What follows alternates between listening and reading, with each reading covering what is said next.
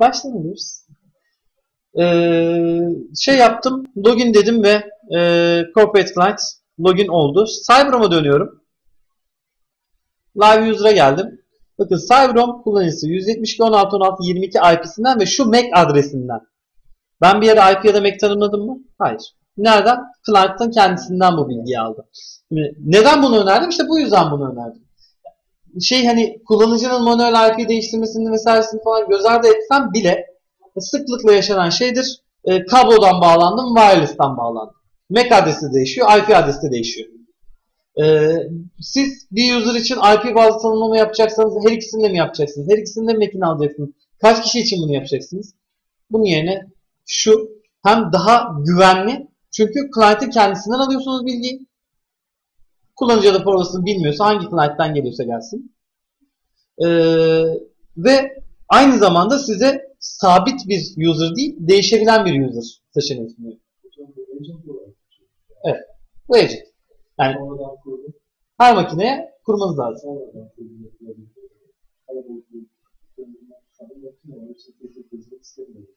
Yani ne zaman isterseniz. Sonuçta kurduğunuz zaman şey. Bunu değil. Yani e, bu bu işin workstation tarafı aslında zaten. Yani workgroup, workstation, workgroup tarafı. E, Active Directory'den bakın aslında şey yani kullanabileceğiniz CyberOn bütün agentları bu sayfada var. Bu dediğim gibi workgroup ortamlarında kullanabileceğiniz manuel, bunun istatistik tek yolu manuel makine başında kuracaksınız. Bunlar. Ee, clientless single sign-on Active Directory üzerine kurduğumuz, Active Directory'nin kendi üzerine kurduğumuz agent. Client based single sign-on Active Directory üzerinden client'e gönderdiğimiz client. İşte bu o. Çünkü onda şey yani e, bir scriptle birlikte bunu basmamız gerekiyor. Aslında mantık olarak aynı agent ama modifiye edilmiş bir agent olduğu için bunu kullanmak zorundasınız. E, terminal server için dediğim gibi terminal server üzerine bir agent kurmak zorundasınız. Bu da o. E, son olarak bir de şey IPsec VPN client var. E, ki bu da zaten ekstra lisans gerektiren bir durumdur. VPN tarafında belirteceğim. Ee, kısacası bunu manuel olarak yüklemeniz gerekiyor ama ne zaman yüklediğiniz tamamen size bakar. Ee, sonuçta bir numaralı kodu kapatıp kullanıcı trafiğine izin vermediğiniz anda ivedilikle yüklemeniz gerekecektir. Çünkü kullanıcılar e, internete çıkamayacaklar. E, efendim? Anlamadım. Browser üzerinden tabi o, o bir şimdi geleceğim. E, o da bir authentication yöntemi zaten. Şimdi e, bu sonuçta şey bunu yani browser üzerinden evet e, hemen hemen her yerde kullandığımız bir şey ama kimin için kullanıyoruz? Misafir için kullanıyoruz. Sonuçta siz browser authentication'da adamın her bilgisayarda yeni geldiğinde her gün en az kapattı açtı logo folder onları hariç tutuyorum. En az her gün adamın browser'dan yani Windows'u açtım parolamı oraya yazdım. Windows açtım bir de bir kere şöyle düşün. Outlook'u açtım çalışmadı. Önce açtım browser, Google.com yazdım, kullanıcı adı parolamı yazdım. Ondan sonra Outlook çalışmaya başlayacak. Böyle düşünün. Bunu kendi kullanıcım için ister miyim? Hayır. Her gün niye kendi kullanıcım şey girsin, şifre girsin? Hayır. Şurada kendiniz yani şey aktivitör vesaire falan yoksa ki hani bu şeyi kullanıyorsanız ha, e, ekle test test, parolası da test, user. E, burayı boş geçemiyorsanız, geçemiyorsunuz ama e, burayı sadece spam digest'ında kullanıyorsunuz. Yani şuradaki e-mailin mantığı spam digest'ın o kullanıcıya gidebilmesi. Yani bir spam özellik, spam kısmını anlatacağım zaten. E, spam özet raporu gönderecekseniz kullanıcı burada e-mail adresi olmayana gönderemez. Burası o yüzden kullanılıyor ama e, zorunlu bir alan olduğu için e, eğer ortamda bir e-mail server yoksa spam kontrolü yapılmıyorsa bile sallama bir şey girmek zorundasınız. Yani teste test.com girin geçsin yani ama girmek zorundasınız. Grubunu seçtim. İşte ayarlarını seçtim. Okey dedim. Şimdi ikinci olarak da tam onu diyordum. Ee, şey aynı zamanda size hani oturum kapatıp açma özelliğini de sağlıyor bu client. Hani IP bazlı yapsaydınız herkes bunu. Yani örnek veriyorum kısıtlı muhasebe için böyle bir şey yaptınız ama siz gelip ITC olarak driver indireceksiniz. Ama driver siteleri download kapalı adama e, ne yapıyorsunuz buradan? Sağ klik logo. Kendi kullanıcınızda sağ klik login. Evet. SP dediğim için direkt otomatik login oldu da. Test. Test. Login. Şimdi artık testin haklarıyla çıkıyor. Yani bana bu şeyde sağlıyor ama tabi genel olarak düşündüğünüzde zaten Windows'ta bir otomatik başlayacak bir daha da kullanıcı karşısına çıkmayacak. Hep şurada isimli olarak kalacak kendisi o kadar. Onun haricinde bir şey olmayacak. Ee,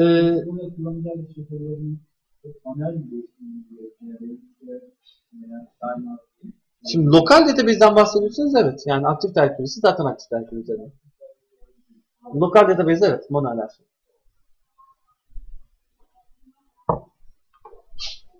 Ee, devam ediyorum. E, Client bir tane user yani ta tamamen başka bir IP'ye tanımlayayım da onu da göstermiş olayım. 170, 16, 16, 85 salladım. Gidelim.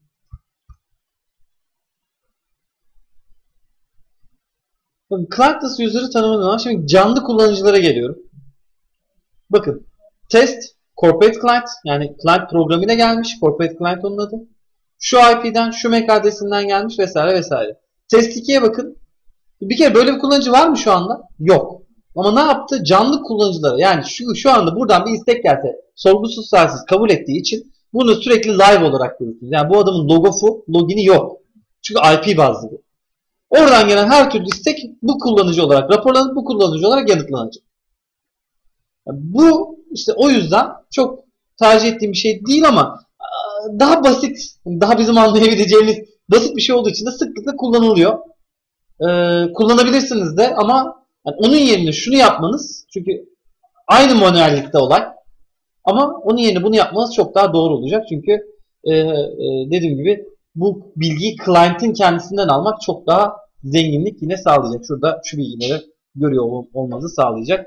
Gittisi geldisi çok daha rahat tutulacak. E, vesaire. Hangi IP'den hangi MAC'den geldiği de önemli bitirecek. E, bunun haricinde e, clientless ve corporate client'ı da anlattık. Son olarak Capture Portal yani browser üzerinden login. Ee, şimdi onun bir ayarlarına girelim. Dediğim gibi normal şartlar altında ben sizin sabit kullanıcılarınızın Capture Portal'a gelmesini mantıksız buluyorum. Ee, bunun da e, neredeyse tek sebebi bunun her gün giriliyor olması gerekmekte. Yani hem ikinci kez bir kullanıcı adı forması girişi yapmak zorunlu hem de her gün bu işi yapmak zorunlu. Ee, dolayısıyla kendi kullanıcınızda böyle bir işkence çektirmenin bence bir anlamı yok. Bunu da kullananlar var tabii bu arada. Yani böyle tercih edenler de var. Efendim? Yani birden fazla bunun üstüne insanlar yani şimdi bu ortak şey makineler var. Şimdi kendine bağlı olmayan makine, ortak alanda kullanılan makineler var. E, zorunlu olarak. Tabii ortak makinelerde en mantıklısı bu. Yani ortak makinede şunu kullansanız adam bırakırken logout'un gitmeyeceğinden kaynaklı e, mecburen evet. Ya, zaten şey yani bu amaçla kullanım evet bu amaçla kullanım doğru bir kullanım yani ortak makinelerde.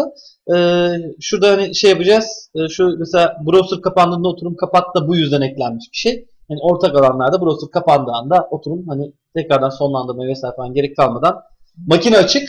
Hani çünkü log of detection'ı makine bazı hala yerinde mi değil mi diye bakıyorsunuz. Ama makine açık. Hiç kimse makineyi kapatmıyor ama kişiler değişiyor. Browser kapandığında oturum kapandı bitti.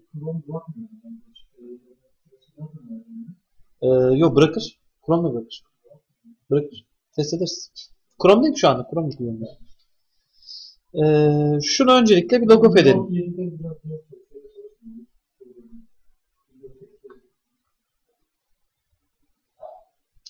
Corporate Client'ı Windows 8'de ne yalan söyleyeyim denemedim. Desteklediğim hiçbir fikrim yok. 7'de şu anda ben 7'deyim. 7'de hiçbir sıkıntımız yok. Belki antivirüs kaynaklı falan olabilir. Ee, şimdi Capture Portal'a geliyorum. Şimdi her şeyden önce e, şu Portal ayarlarını da baş, anlatmadan önce en alttaki ayardan başlayacağım. Capture Portal kastım mesela. Şimdi ben dedim ki e, bir numaralı kural drop. Ya da bir numaralı kural drop değil. Bir numaralı kuralda örnek veriyorum. Haber siteleri açık. Geri kalan siteler şey. Şimdi ben user değilim. Haber sitesi açmaya çalıştığımda haber sitesine izin verdim ya bir numaralı kuralda. Çıkarım. Karşıma herhangi bir sayfa gelmedi. Direkt hürriyet.com geldi. Ee, ama e, Hotmail açmaya çalıştım. Şimdi yasaklı, burada anlatmaya çalışıyorum. Yasaklı olan bir yere gitmeye çalıştığınızda ancak Capture Portal devreye girebilir. Yani mantık çünkü bu. Hani adama siz izin veriyorsanız niye user soruyorsunuz? Siz zaten user olmadan izin vermişsiniz diyor adama. Hani siz ona user olmadan izin vermiyorsanız ben ona kullanıcı adı parola soracağım. Burada da iki seçeneğiniz var. Yani bu adama illa kullanıcı adı parola sormak zorunda değilsiniz. Kabul etmiyorum şeyden browser'dan girişi. Benim kullanıcılarım haricinde internete çıkmasın da diyebilirsiniz. O zaman da karşısına custom mesajı gelmesini isteyebilirsiniz. İşte e, yine logolar vesaire falan şurada vermiş olduğunuz içerik direkt olarak yasak sayfası olarak gelecektir. İşte e, internet erişiminiz e, şirket politikalarıyla yasaklanmıştır. Dediniz bitti. Hiç karşısına user ekranı vesaire falan gelmez. Ama dediğim gibi misafir girişini kabul ediyorsanız Capture Portal'ı buradan seçebilirsiniz. Bu bir. Yani burada üzerine tekrar vuruyorum. Yasaklı olan yere gitmeye çalıştığınız zaman Capture Portal mekanizması devreye girer. Ve orada da ya custom mesaj ya da Capture Portal gelir. Ee, şimdi Capture Portal üzerinden nerelerden user kabul ediyorsunuz? Fark etmez. Database önemli değil. Yani Active Directory kullanıcısı da gidilebilir. Lokal kullanıcı da girebilir. Hiç fark etmez. Ee, HTTPS normalde HTTP üzerinden gelir. HTTPS üzerinden mi açılsın? Ee, browser kapandığında oturum otomatik olarak kapansın. Şimdi enable diyelim test etmek için. Ee, ben bir URL'e gitmeye çalıştığım zaman sonuçta bu sayfa yasaklayacak. Sonrasında bu URL yani o sayfa kalsın mı öyle? Yoksa redirect edip tekrar yönlenmesini sağlayayım mı? Evet sağla. Nereye sağla? Reklam olsun. Medium.com.tr'ye yolla. Medium.com'a yolla. Ee, yani şey adam Google açmaya çalışsa bile oturum açtıktan sonra Medium açılsın ki bana hit olsun. Ee, minimize et yani o oturum sayfasının şey kendisi adam belki logof olmak isteyecek. O sayfanın açık kalmasını istiyor musunuz? Çünkü başka bir sayfaya yönlendireceğim. Onu ya aşağı alacağım ya kapatacağım. Etme. Ee, her mekanizma için şimdi şu şeyleri de anlatacağım buradan hemen sonra. Ee, bir logof mekanizması gerekiyor. Yani kullanıcı evet oturum açması aslında oturum açma bilgisini almak daha kolay. Çünkü bir istek var ortada. Bu isteği yanıtlıyorsunuz. Oluyor bitiyor. Ama kullanıcının ne zaman gittiğini bilmek çünkü ne Browser Authentication'da işte Browser Authentication'da bir avantaj Browser Close var. Ee, Active Directory'de yok öyle bir şey. Yani kullanıcının ne zaman gittiğini bilmiyorsunuz. Ya Browser Close'da e, oturumun kapanmasını istemiyorsunuz. Çünkü örnek veriyorum şey olabilir. Ee, adam şeyini kapatacak ama Outlook devam etmesini istiyor olabilirsiniz. O zaman e, belirgin bir mekanizma devreye sokmanız lazım ki adamın gittiğini bilip o user'ı düşürebilmelisiniz. Yoksa hani e, DSP sürelerinizin kısa olması ya da 50 IP atama gibi aynı IP'yi başka birinin alıp o bir önceki user'la devam etmek gibi bir saçmalık ortaya çıkabilir. Ee, bu sebeple bir logof mekanizması devreye sokmak zorundasınız. Şu bir logof mekanizması olarak kabul edilip bu kapatılabilir ya da buradan bir e, süre verilebilir. Ee, şey hani gelen connection'ı sürekli olarak canlı mı tut? Hayır sürekli olarak can tutma. Limit olarak limit olarak 3 dakikada 100 byte ara. 3 dakikada 100 byte trafik buradan gelirse login kalmaya devam edecek. Ne zaman ki 3 dakika içerisinde 100 byte trafik o şeyden hedeften CyberOM'a gelmez byte'dan bahsediyorum. 100 byte. Ee, o zaman kullanıcı logo olur. Bu süreyi uzatıp kısaltmak sizin elinizde. Network'ünüze göre değişir. E, sonuçta burada e, şey yani e, arada akıllı switch'ler var. Broadcast paketleri CyberOM'a kadar çıkmıyor. Kullanıcı öğle tatilinde çıktı gitti. Makinesi açık ama logof olacak. Hani bunları düşünmeniz gerekiyor tabii ki. Yani örnek veriyorum broadcast paketleri bana ulaşıyorsa onlar da bir trafik yaratıyor. O IP var olduğu sürece. Bana ulaşmıyorsa ayrı düşünmeniz gerekiyor. Kullanıcınızın işte öyle tatil sırasında çıktığı zaman geri döndüğünü tekrar sormak istiyorsanız ona göre, istemiyorsanız ona göre. Yani bu biraz network özelinde özelleştirmek gerekiyor. Ama dediğim gibi hani 3-5 deneme yanılmayla da e, doğruyu bulabileceğimiz bir logo mekanizması. Eee Unauthenticated user yani user olmayan şey direkt access deny verilecek mi? Ee, yine buradan bunları seçebiliyorsunuz. Apply dedim. Ee, şu anda ben login değilim. Firewall kuralımını da bir tekrar kontrol ediyorum. LAN'dan bana Tamam şu şu kuralın çalışmaması lazım. Bir numara kuralına drop olması lazım. O zaman şu şartlar altında ben Facebook'a gidemiyorum.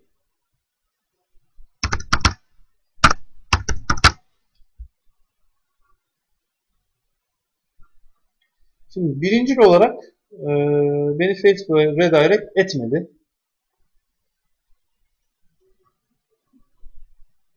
Ben bunu apply dedim mi?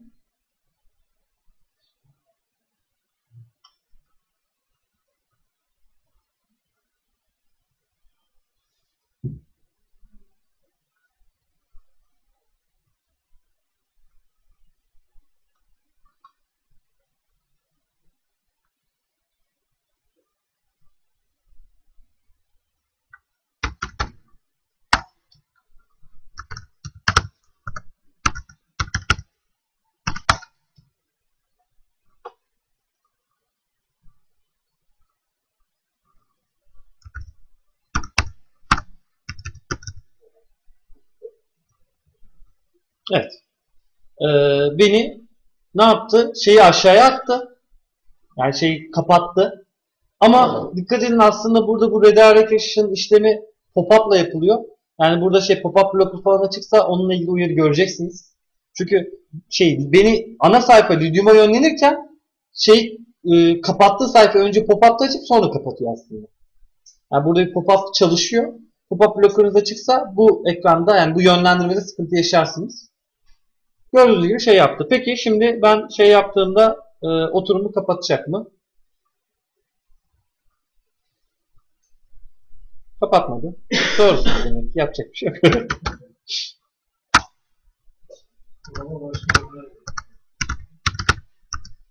Bakarız. Ben bunu Chrome'da çalışıyorum. Denemiştim yani.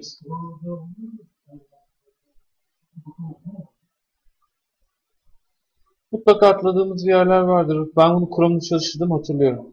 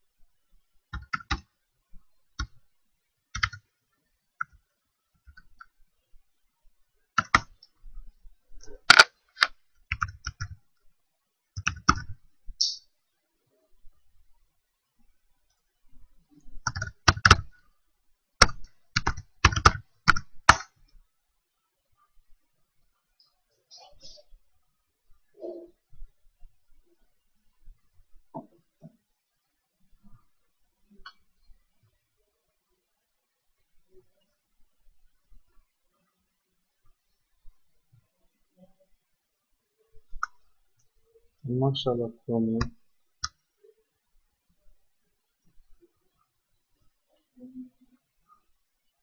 Kapandı mı şimdi Chrome'la ilgili her şey? Kapandı.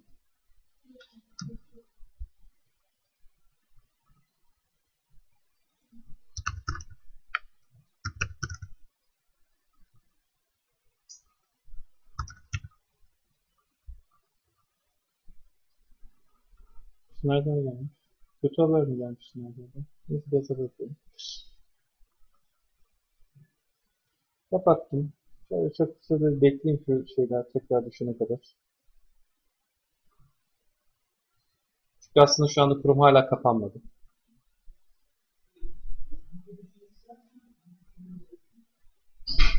Kapanmıyor musun otomatik Chrome yani? Bundan kaynaklı bir olabilir değil mi? içine bir ayar. Tamam.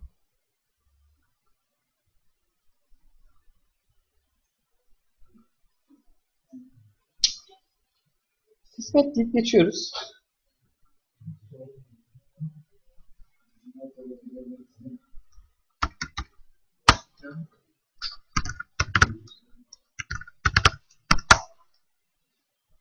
Bununla ilgili ben bakın e, vardır illa ki. Ben bu Chrome'da yaptığımı hatırlıyorum yani. Ee, Şimdi identity nerededir?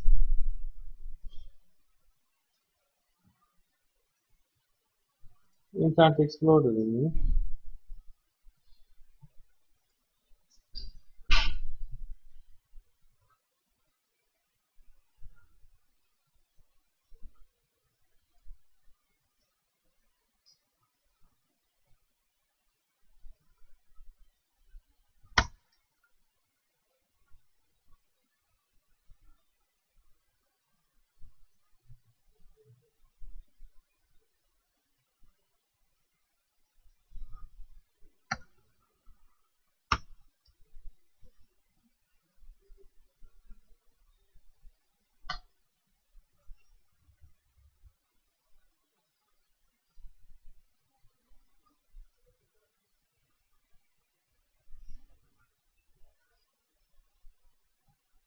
Gördüğünüz gibi internet Explorer'da internete bile bağlanıyoruz. Bir sorun yok yani. Aynen öyle. İnternet yok, güvenlik var. Dediğim gibi orada bir timeout süresi olmak zorunda iki user arasında.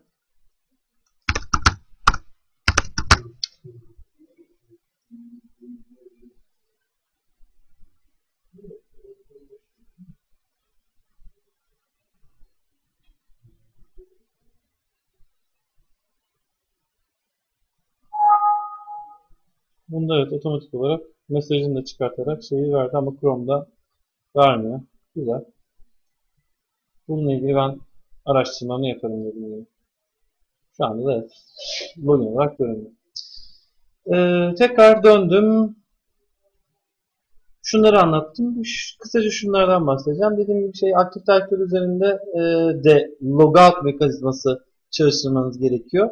Aktif direktör işte Stas ile e, single sign-on yapmışsanız yine e, bunların da logo olması ile ilgili e, ayar yapmanız gerekiyor.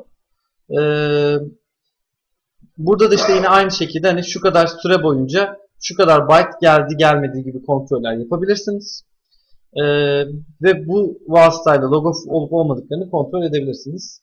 Yine aynı şekilde Active Directory üzerine kurduğum o Stas Agent'ının Cyber Transparent Authentication Suite kısaltıyorum diyorum.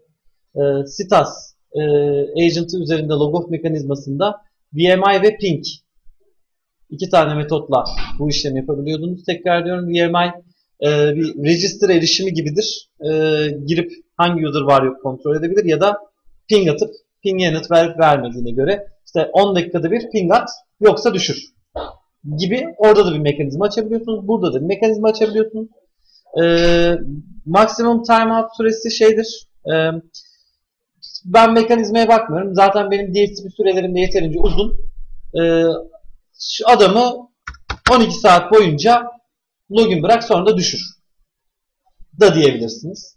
Adam sabah 9'da gelirse akşam 9'a kadar oturum açması genelde %99 hiçbir sıkıntıya sebep olmadan düşürülmesini de sağlayabiliyor. Yani logof mekanizmasıyla en yani çok sıkıntı yaşadınız bunu devreye alıp sıkıntınızı aşabilirsiniz gibi hani farklı alternatifler var ama dediğim gibi bu alternatifleri network özelinde farklı farklı kullanabiliyoruz. Yani hani şunu çok kullanıyorum, bunu çok kullanıyorum diyemem. E, network yapısına göre e, çok farklı kriterlere göre bu farklı farklı seçilebiliyor. E, devam ettik. Şimdi user'laştırdık. E, son olarak şeyi de anlatıyoruz. Şimdi bir şey gösterelim. Configuration Capture Portal. Ee, evet karşıma o şey geliyordu. Şu ekran geliyordu ama bunu buradan System Configuration Capture portaldan editleyebilirim, değiştirebilirim. Kendi logomu atayabilirim. E, Türkçeleştirebilirim. Türkçe karakter kullanarak Türkçeleştirebilirsiniz. E, ve işte buradan bakıp şey yapabilirim, kaydedebilirim. E, bunun haricinde şu anda gördüğünüz gibi sadece şey bir user hesabı bilgileri görmekle ilgili bir link var. E, ben ne yapıyorum? Guest User'a geliyorum. Enable Guest User diyorum. E, misafir kullanıcılar Guest User yani aslında bizim bildiğimiz gibi SMS Gateway özelliği entegrasyon. E, o kullanıcı adı arayüzüne bir de bir şey daha açıp, link daha açıp SMS ile user yaratmak için tıklayınız gibi bir ibareyle SMS yarattığında user yarattığını sağlayabiliyorsunuz. E, buradaki özelliklerimiz nelerdir? E, bir, her şeyden önce CyberOM'un kendisi SMS gönderemez. E, bu iş için bir operatöre ihtiyaç duyar. E, bu yani şey Türksel Vodafone Avia direkt olarak bu hizmeti satmıyor olabilir. E, servis sağlayıcılar var. Yani internette toplu SMS yazdığınızda çıkan herhangi bir e, operatörle, şey, servis sağlayıcıyla çalışabilirsiniz. E, benim sıklıkla gördüğüm Posta Güvercini, Teknomart gibi siteler var. E, bunlardan ya da herhangi dediğim gibi X hiç önemli değil. E, bunlar üzerinden bir abonelik satın alıyor olmanız gerekiyor. Bu aboneliği aldıktan sonra bunu öncelikle SMS Gateway kısmından giriyorsunuz. Burada bir örnek var. İşte mesela biz e, testimizi burası üzerinden yaptığımızda yaptığımız için e, bu bu şekilde hani örnek olsun diye kalmış durumda. E, size bir link veriliyor. HTTP API destekli dediğiniz zaman zaten onun genelde bir doküman oluyor hatta. E, bir örnek kodu oluyor. O örnek kodunda zaten şeyleri, bu şeyleri görebiliyorsunuz parametreleri. Öncelikle şey nereye gönderecek bir link veriliyor. Sonra parametreler. E, nedir bu parametreler? Bu parametreler şeyden şeye değişir. E, sağlayıcıdan sağlayıcıya değişir. Yani birisinde işte CMD sent SMS yazmaz da e, gönder yani gönder e, SMS yazar.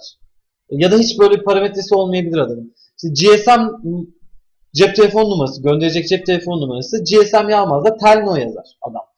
Ee, ya da mobil yazanlar var. Hani bu parametreler tamamen değişken. Ee, nasıl bileceksiniz? Dediğim gibi servis sağlayıcı zaten ben HTTP API olarak kullanacağım dediğinizde size bir sayfalık bir doküman veriyor. O dokümanda bir tane örnek link bu link olaraktır. Yani şey şu direct'e kadar ya direct'ten sonrası şey olarak düşünün. Slash cmd eşittir send sms işte end gsm eşittir telefon numarası gibi bir şey verir. Örnek verir ve her bir parametreyi de açıklar. İşte GSM telefon numarası, kullanıcı size verilen kullanıcı adıdır gibi. E, bu parametreleri buraya kaç parametre varsa o adamın 10 tane parametresi de olabilir, 3 tane parametresi de olabilir. Bu parametreleri sırayla buraya giriyorsunuz ve karşılık gelen değerleri giriyorsunuz. Burada önemli olan sadece iki nokta. Değişken yani CyberOM'un gireceği, göndereceği. Birincisi hangi cep telefonunu gönderecek? Bizim doldurduğumuz formdan bunu alıp bu numaraya gönderecek. İkincisi hangi mesajı gönderecek? Kullanıcı adı parola mesajı. Yani bu mobil ve mesajı her ihtimalde ilgili yerlere yazmanız lazım. Kimisinde text yazar, kimisinde mesaj yazar. Ee, ona MSG yazacaksınız. Telefon numarasına gelen yere de mobil şu şekilde tırnaklı mobil eno yazacaksınız. Kullanıcı adı parolanızı girdiniz. İşte e, geri dönüş yani hata kodları için şu parametreleri giriyorsanız giriyorsunuz. E, tamam tanımladım. Ondan sonra geldim General Settings'e. Dedim ki ben SMS Gateway'im Türksel. E, dedim ki kullanıcı adı olarak cep telefon numarasının kendisi mi kullanılsın? Kullanıcı adı olarak Lidium 00010002345 mi kullanılsın? Tavsiyem cep telefon numarası kullanmasıdır. Ee, çünkü sonuçta şey rapor tarafında bunu çok daha rahat. Çünkü bu username'i görüyorsunuz raporda. Ee, amacımız reklam değil. Amacımız e, rapor tarafını düzgün yapmak. O yüzden yüz, şey, cep telefon numarası çok daha doğru bir yöntem olur. E, aksi durumda şey yani 003'ü o gün kim almıştı? Geri dön loglardan bak hani IP adresmiş de geri dönüp MAC'ten kim olduğunu bulmak gibi bir şeye dönüyor. O yüzden çok önermiyorum ama hani böyle bir seçeneğiniz var. E, cep telefon numarası kullan. Kaç gün geçerli olsun? Yani bu açtığınız user kaç gün geçerli olsun? Otomatik reflekstir. Şu ana kadar farklı bir yanıt almadım. E, bu özelliği duyan ilk olarak bir gün geçerli olsun. Misafir ya. Bir gün geçerli olsun der. Şu ana kadar kimse beni yanıtmadı. Herkes bir gün ister. Bence çok mantıklı değil bir gün olması. Neden? Çünkü düşünün nerede kullanıyoruz? Misafir hattında kullanıyoruz. Wireless parolanız var. Zaten gelen herkese veriyorsunuz gibi bir durum oluyor. Wireless'e bağlandı adam. E, user'ını yarattı. Girdi internete. Ertesi gün o adam tekrar geldi. Gelmezse zaten sıkıntı yok. Hani 7 gün dedim örnek veriyorum. Ben ben o civarları falan öneriyorum. Hani 5 gün, 7 gün bence idealdir. Ee, gelmezse zaten kullanılmayacak user. Gelirse siz bu user'ı engelleyecek misiniz? Yani bir gündür senin hakkın internete giremezsin diyeceksiniz? Hayır. Zaten adam wireless'e tekrar bağlandı. Hatta otomatik bağlandı. Tekrar karşısına geldi. Username parolasını aldığını denedi. Olmadı. Tekrar SMS istedi. Tekrar SMS geldi. Açıldı yani. Tekrar girdi oldu. Kimden kim kaybetti? Adam bir şey kaybetti mi? Hayır. Sizden bir gitti bir kontur. Ne gerek var? Çünkü adam kaç defa istesek o kadar vereceksiniz. Dolayısıyla bence hani misafirlerinizin ortalama kaldığı süre işte nedir? Hani bir günse yine bir gün olabilir ama hani bir gelenin bir daha gelmemi gibi bir şey varsa bir gün evet olabilir. Yani ben genelde şey bir adam geliyorsa hani ertesi gün vesaire falan gelebilir. 4 gün, 5 gün, 7 gün bence çok daha ideal rakamlardır. Çünkü tekrar istediğinde tekrar ben onu veriyorum. Hatta yeni user açmıyorum. Aynı user tekrar gönderiyorum. Efendim? Yani burada 6 ay veren de var. Öyle söyleyeyim. Yani şeyde yurtta kullanılıyor. 6 ay veriyor. Öğrencisi zaten kendi öğrencisi. ama sadece onu otantike etmek. E, 6 ay boyunca öğrenci o şeyde kullanıcı adıyla parolasıyla giriş yapıyor mesela. Yani.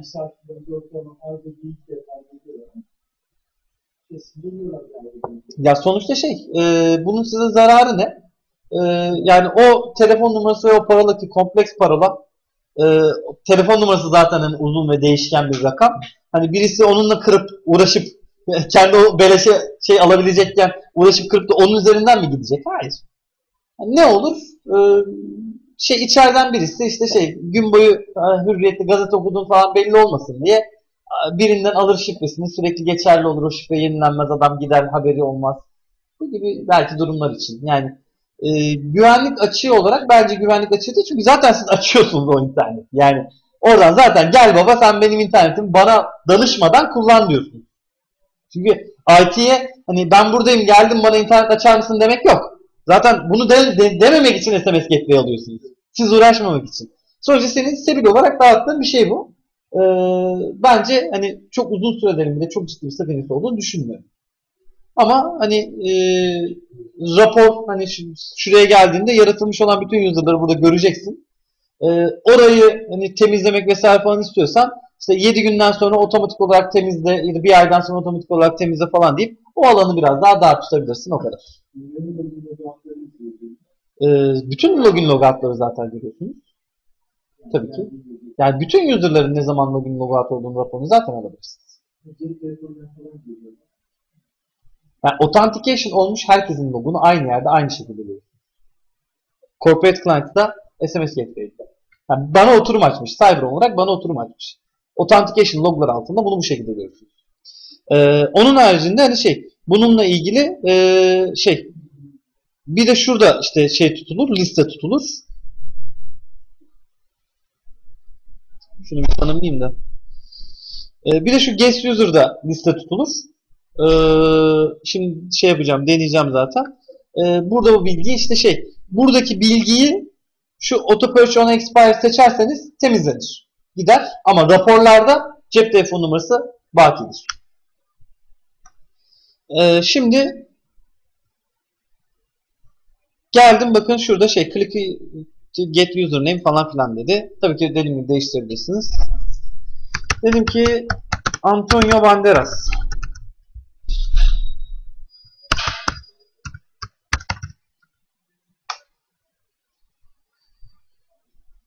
Ee, şu anda yazdığım telefon numarasının hiçbir önemi yok. Neden yok? Çünkü portalda bir SMS ketmeyi yok.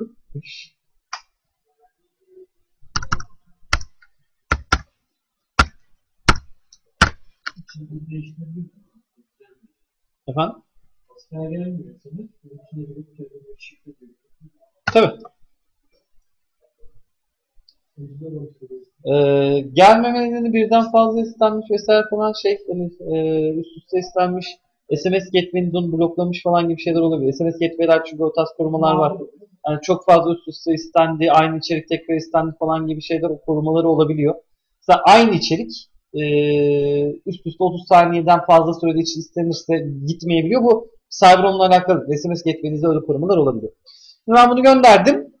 Dıt dıt dıt dıt dedi. Geldi. Baktım işte telefon şey dedi. Mesajda ne dedi? Mesajı görelim.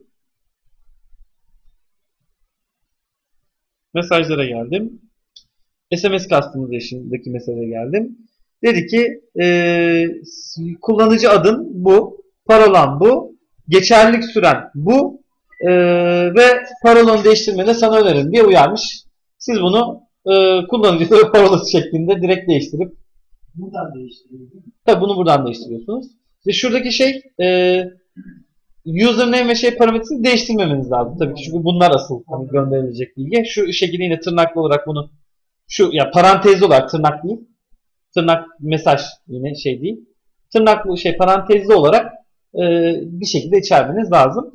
Burada şey Türkçe karakter kullanmanızı önermiyorum. Cyberhome yine kaynaklı değil. SMS getirmeniz Türkçe karakterden kaynaklı iki mesaj haline falan dönüştürebilir bunu. E, boşuna kontrolünüz gitmesin diye. Burada Türkçe karakter kullanmanızı önermiyorum ama bizimle ilgili sıkıntı yok kullanabilirsiniz. Buradan mesaj şu şekilde mesaj geliyor ve e, identity guest user şu kullanıcı oluştu otomatik olarak. Buradan da görüyorum işte girdiği bilgileri falan. Yani istiyorsanız buradan change password çünkü ben şimdi diyorum ki SMS'te geldi ve ne geldiğini bilmiyorum. 1, 2, 3, 4, 5 1, 2, 3, 4, 5 Okey dedim. Bunlar da user. Bunların da kendi hakları var. Ee, işte şey, ben Open Group taşıdım çünkü başka grup yaratmamıştım ama misafir diye bir grup yaratacaksınız. Yaratmanız mantıklı. Bunlar otomatik olarak o gruba düşecek ya da SMS vesaire. Bunlar otomatik olarak o gruba düşecek ve ona göre sınırlı olacaklar. E şimdi e, ben artık bu gelen e, tabi sallama telefon numarası yazarsanız.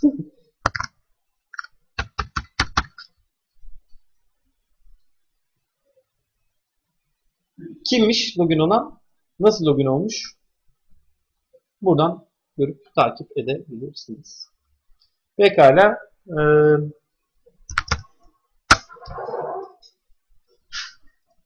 şu anda konumuz log değil ama kullanıcı girdiği siteler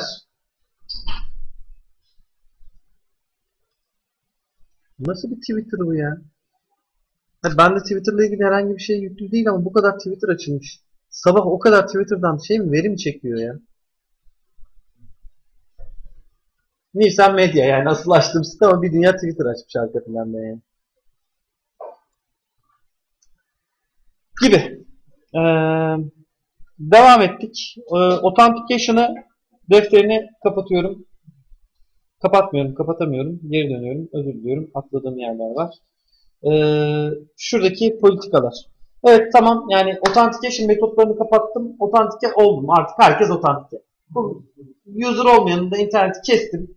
Temiz. Raporlarım da tertemiz. User olmayan kimse yok. Raporlarımda her şey ya Active Directory ismi ya benim tanımladığım Workstation, Workgroup ismi ya da e, cep telefonu ismi. Her neyse. Herkes ortada. E, peki bunlara hak verme tarafı nasıl yönetiyorum bunları? Hani dedim yönetim o tarafa yakın. İşimiz rahat dedim. Şimdi nedir işimizi rahatlatan? Bunları grup ve user bazlı olarak yönetebilmek. E, gruplar yeni bir tane grup yaratalım. Arkadaşlar misafir diyelim. Grup tipi e, normal mi IP tabanlı mı? Hani IP tabanlılar clientless bu ikisi iki farklı grup tipi vardır. Normal ya da clientless. Normal. E, neler atayabiliyorum? Bir gruba ya da user'a neler atayabiliyorum? Web filter atayabilirim. E, no porno. E, application atayabilirim. Şu anda yok. Elevol.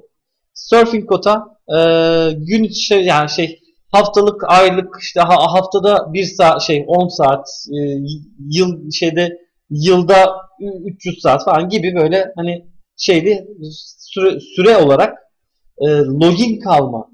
Burası login kalmadır. Login kalma süresi verebilirsiniz. Unlimited. E, access time hangi zaman aralığında erişebilir?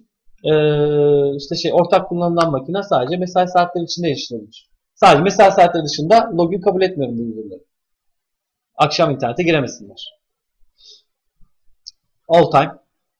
Data transfer işte günde 5 işte 1 GB indirilebilir, 500 MB indirilebilir, haftada şu kadar indirilebilir. Ee, band genişliği yönetimi. Ee, QoS'u şurada anlatayım geçeyim bir daha geri dönmeyeyim isterseniz. Ee, böyle bir ek, QoS ekledim. Şimdi evet bir user'a ya da gruba QoS verebilirsiniz. Bunun ötesinde bir firewall kuralına web kategorisine ya da application kategorisine QoS yani band genişliği atayabilirsiniz. Ee, kullanıcı ya da kullanıcı grubuna e, atayabilirsiniz. Bunu atarken şuradaki individual ve shared e, şudur. Mesela grubun içinde gruba atadığını düşünelim. 10 kişi var o grupta. E, 10 megabit de QoS atadım o grup için. Bir kişi var o grupta. 10 megabitle çıksın mı istiyorsunuz? Paylaşımını mı istiyorsunuz? Ya da şey, hepsine birer birer 10 megabit mi vereceksiniz? Yoksa şey mi, e, toplamına mı 10 megabit vereceksiniz? O şekilde seçebilirsiniz. Mesela işte şey, individual derseniz ve buna da 10 megabit derseniz her birine birer birer 10 megabit verir. E, shared derseniz onu toplam 10 megabit. Yani bir kişi varsa 10 megabit cancel, iki kişi varsa 5 kullanır, 10 kişi varsa birer kullanırlar. Gibi paylaştırarak devam edebilir. Ee, firewall rule'unu atamanız demek zaten firewall rule'unda neler yapabiliyorduk? Firewall rule'unda e, servis, port, işte zaman, IP, MAC, country, e, FQDN, domain, e, yani birçok şey bazında kısaca e, firewall kuralı yazabildiğinize göre o kadar şey bazında QoS atayabilirsiniz anlamında. Çünkü firewall kuralının içerisinde QoS atayabilirsiniz. Yani şey diyebilirsiniz. Ee, işte şey mail server'ın 25 portu için e, hatta onu Strictly Commits'i de anlatmış olayım. Strict sınırlı 1 megabit'e kadar. Mail server için vereceğim. Dedim ki işte şey 1024 4048 1024 ona garanti edilmiş. Yani ona ayrılıyor. Kimse kullanmıyor onu. Yani benim attığım 10 megabit main server'ında şu an hiç trafik yaratmıyor. Siz orada 9 megabitini kullanabilirsiniz. Main server için o 1 megabit ayrılıyor. Boşsa da 4'e kadar çıksın. Gibi bir tanım da yapabilirsiniz. Strict committed budur. Ee, upload download e, tabii ki upload download'unuz eşit senkron bir internet olmak zorunda değil. ADSL kullanıyorsunuz 8 megabit internetiniz var. Upload'unuz kaç? 1. 1 megabitle upload yaparsa o insan siz 8 megabit değil hiçbir şey göremezsiniz download tarafında. E, birbirini etkiler asenkron internetlerde. E, o noktada upload'unu ve download'unu ayrı ayrı vermek isteyebilirsiniz. Verebilirsiniz. Eee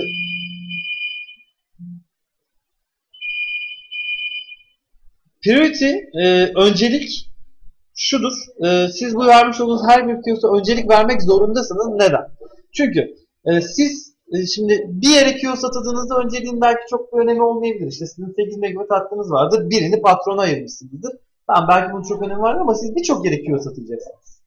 Firewall kuralını atacaksınız, web'e atacaksınız, user'a, gruplara vesaire falan. Yani siz belki de şey toplasanız, ucuca ekleseniz 100 megabitlik QoS yazmışsınız.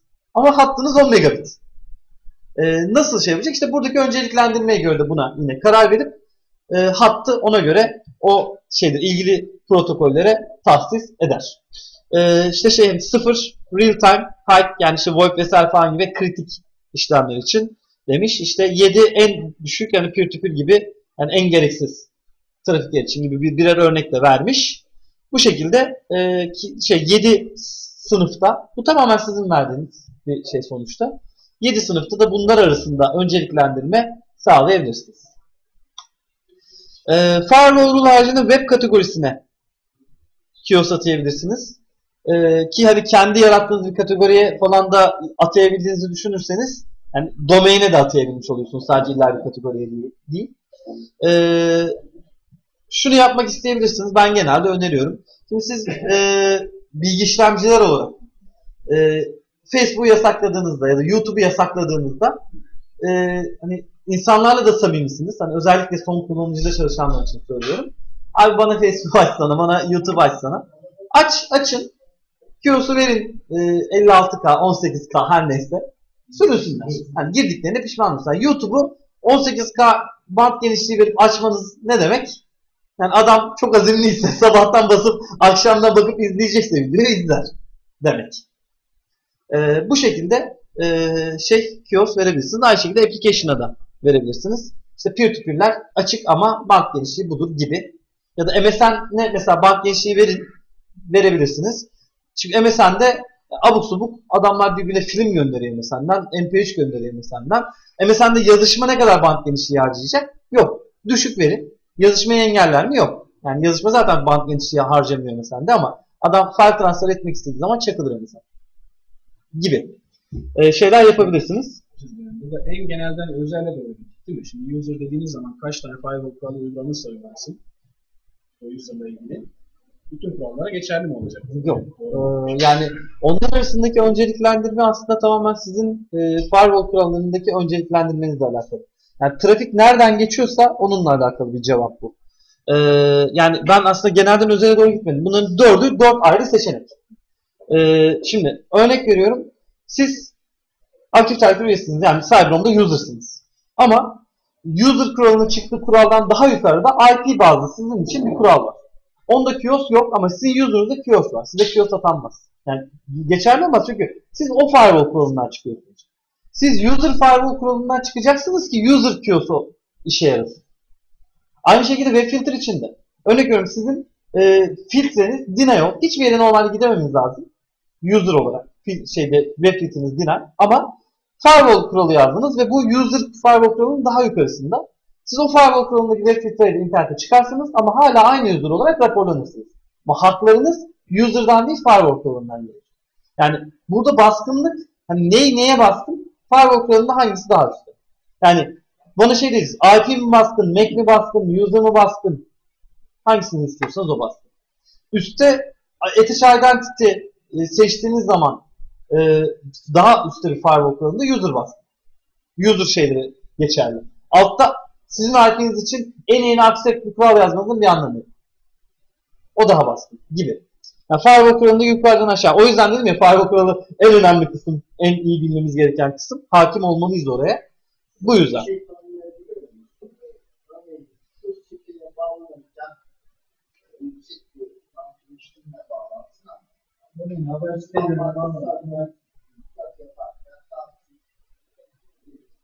Yani tabii ki yani şey e, değil mi web kategorisi bazlı ve e, Yani ben şu açıdan daha netleştirmek istiyorum. Yani kurumların kullandığı web tabanlı e, yazılımlarla buraya girerken işlem hızlı olsun ama. Yani Facebook daha da yani şimdi bu aslında sizin ne kadar uğraştığınızla alakalı bir durum. Yani genelde kullanımı söylüyorum. E, doğru olan o mu o ayrı konu. E, sadece şey kısıtlamasını istediğiniz yerlere genelde atayarak kullanılıyor. Çok genelde böyle kullanılıyor. Yani işte YouTube'a, işte Facebook'a, peer-to-peer'e atıyorlar. Kısıtlı olarak atıyorlar. Geri kalan, geri kalan zaten internetiniz ne kadar hani üste çıkabiliyorsa onunla sınırlı. Ama şey tabii ki yapabilirsiniz. İşte haber siteleri, yani buradan şey dediniz, 1 megabit dediniz. Bir şey web kategorisi için şey yaptınız. Gittiniz bunu haber siteleri kategori hatta şöyle diyeyim. İşte 1 megabit dedim isim olarak. Web kategori dedim. Ee, bir tane firewall şey kiosk yaratacağım ama yaratmadan önce şurada bir açıklamadığım dipnot var. Onu açıklamam lazım. Ee, buraya ben şimdi 1024 yazmayacağım 1 megabit için. Ben buraya 128 yazacağım. Ee, bunun da sebebi şu. Burası kilobyte olarak tanımlı. Ama biz internet band genişliğinden bahsederken hep bitten bahsediyoruz. Megabit. 1024 kilobit. Yani 1 megabit 1024 kilobit. Ama bunu byte'a çevirdiğiniz zaman 8 katı olduğu için 128. Yani e, şöyle diyeyim buraya düşündüğünüzün yani bizim normalde olan şekilde düşündüğünüzün 8'de bölerek yazın. Yani 1024 diyorsanız 8'e bölün 128 yazın buraya. Yani şu 1 megabit anlamını taşıyor. Neden öyle diye sormayın. Byte yani Hintli abiler byte olarak yapmışlar bunu. Ee, o yüzden de hatta şu şey maksimum rakam bu ya. Yani bunu bir de 8 ile çarpın zaten bizim Türkiye'de göremeyeceğimiz bir band genişliği yapıyor. O yüzden hani şeyle ilgili sıkıntımız yok. Ee, mesela 2 minimum 2 verebilirsiniz. 2 çarpı 8 16 kilobit. Minimumda 16 kilobit verebilirsiniz. En dip değer. 128 dedim. Ve hatta buna şey dedim. Biraz daha öncelikle yaptım. Sonra bir tane daha Kiyosat'a dedim. Ee, 56K dedim. Ee, kafam durdu. Kaçta çarpınca 8? 56'yı 8'e bölün. 7 miydi? Şurada yapıyorum. Tamam. Ee, 7 kilobayt dedim. 56K yaptı. Bunu da web kategori dedim. İki tane şey oluşturdum. Bunu da öncelik derecesinde hatta daha düşük seçtim gibi. Buraya geri döneriz. Web filter kategoriye geldim. Ee, dedim ki Entertainment yani YouTube'un içinde bulunduğu, dizi sitelerinin içinde bulunduğu vakit geçirme siteleri olarak Türkçeleştirebileceğimiz e, kategori. Geldim. Kiosk politikası 56K dedim.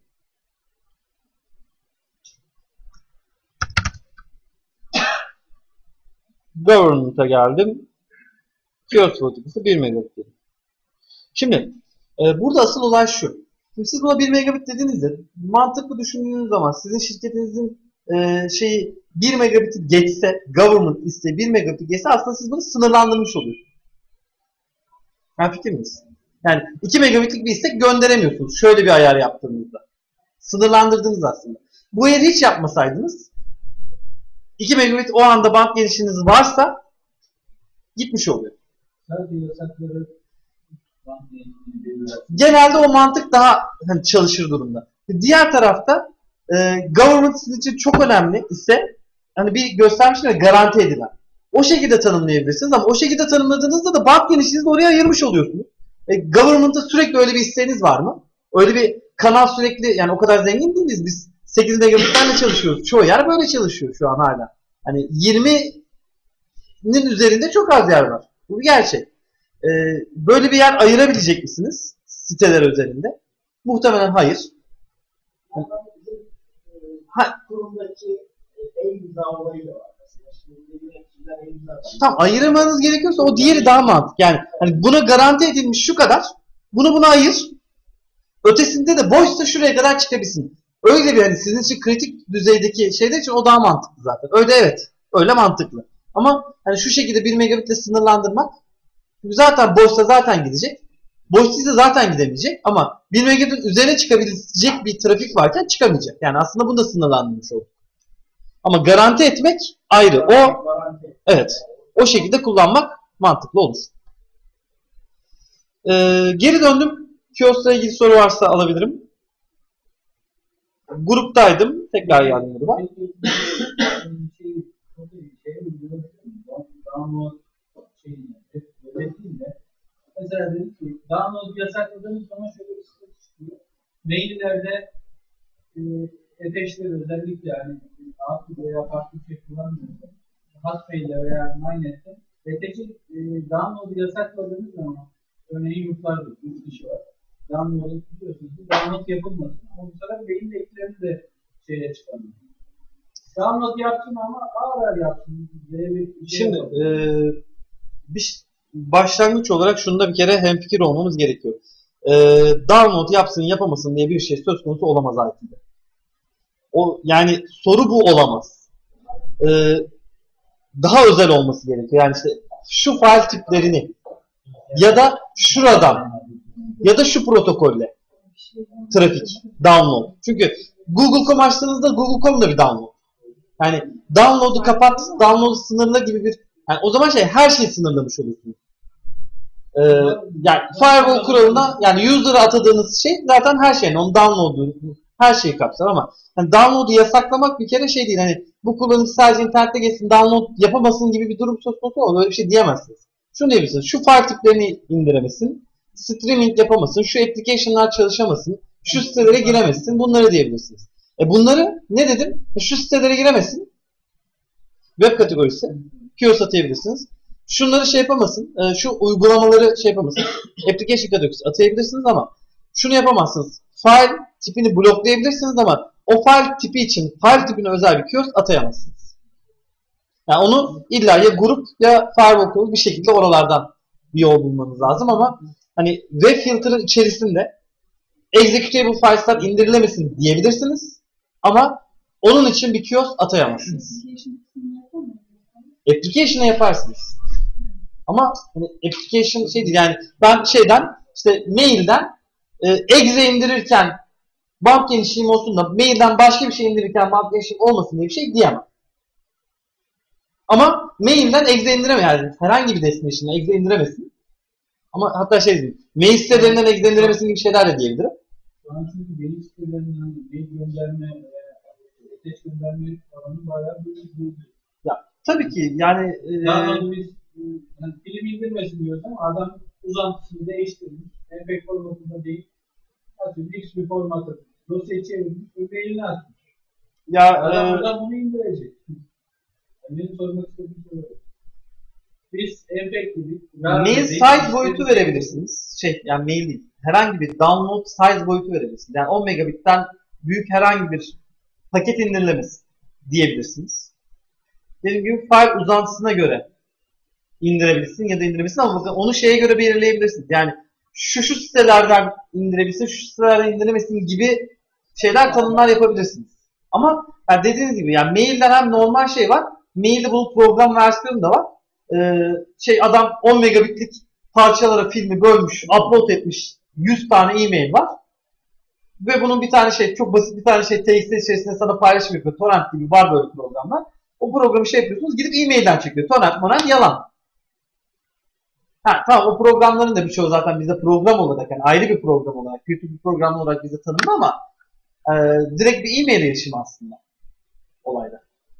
Yani uygulamadan yakalayamıyorsanız e, siteden böyle bir şey yakalamanız zor ama e, bir şey zaten bununla ilgili rapor görüyorsunuz. Şimdi kim ne kadar kullanmış. Oradan ona göre işlem yapmanız mümkün. İki, site bazında bunu özelleştirmeniz ve file tipine göre engellemeniz mümkün.